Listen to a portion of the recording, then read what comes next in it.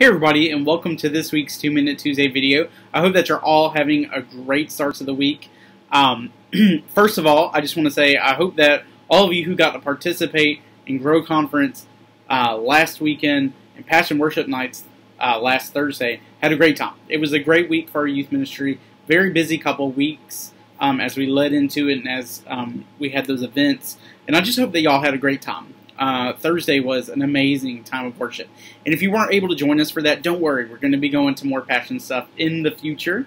Um, but now I do have a couple of reminders for you for this upcoming week. First, the outlet starts tomorrow night at 6 to 10 p.m.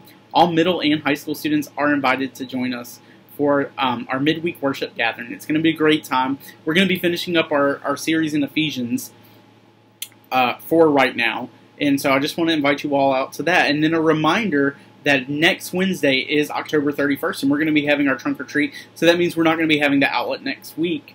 Um, but we do want to encourage all of our youth families, youth families, um, to take part in our trunk or treat. Uh, we still have plenty of spots you can sign up for um, to bring your car, help pass out candy, um, uh, or we're taking uh, donations for candy in the church office. Um, but if you'd like to sign up for that, please just let me know.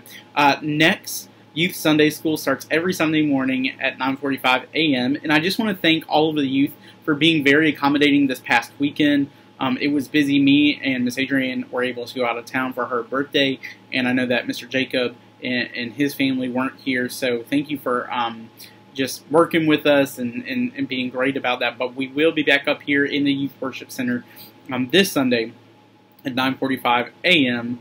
for Youth Sunday School. Um, I think it's about all the announcements right now. Uh, sorry, this week is getting kind of kind of crazy, um, but I just want you to know that we are praying for you. If there's anything that we can be praying for, please uh, let us know. We'd love to be praying for it. Uh, but I hope that you all have a great week. I hope we get to see you all tomorrow night for the outlet.